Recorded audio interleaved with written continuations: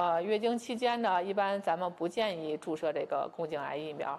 因为注射宫颈癌疫苗之后呢，有一部分人会出现一些呃不舒服的反应，